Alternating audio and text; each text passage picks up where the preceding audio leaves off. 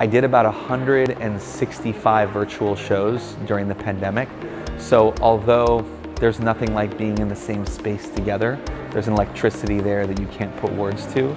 I still had the engagement and seeing people's faces unmasked for those many different events, festivals, and shows that I did virtually from my house in Atlanta, Georgia. But uh, I have to say, there is a different kind of momentum and energy when you're in a space with people in person. I'm very much an in-person kind of person, so I think it's, it's really, really powerful to be back in spaces again.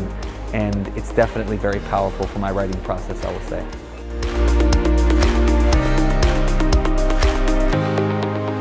Dubai makes uh, my heart swoon. I love this city. The people here are so kind. I've felt from the first time I came here in 2018. This is my third time here. I've always felt very embraced by um, the people that I've encountered in Dubai. So um, I don't know, I can't, I can't speak highly enough about the entire team from the Emirates Airline Festival of Literature and the audiences that I've encountered here.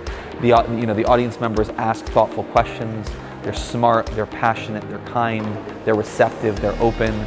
You know, we performed last night an original piece for Desert Stanzas in collaboration with Dr. Afra and Brent Shuttleworth and to look at an audience of a couple hundred people and see them weeping over a piece that we made that was a gift for them, I think tells, tells me everything that I need to know about the generosity and the presentness of the people that I encounter here. And that it really is something special. As somebody who's done international festivals all over the world, and, you know, Indonesia and Australia and Spain and Germany and Palestine, um, I don't mean this in any way say anything about any other festivals, but I've never gone to another festival like this one. It sets the bar very high.